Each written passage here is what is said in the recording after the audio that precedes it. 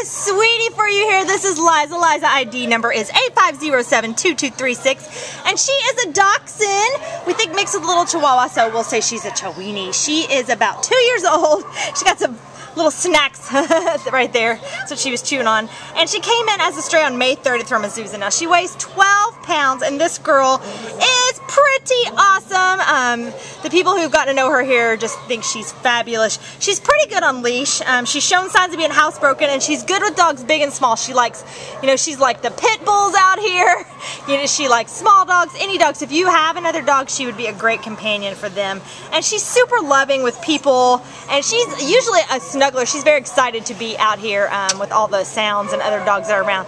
But she definitely likes to snuggle. So if that sounds like the type of gal you're looking for, and we hope that it is, come on down and meet the fabulous Liza, and you can take this beautiful girl home with you to be your snuggler and your best friend. Right, Liza?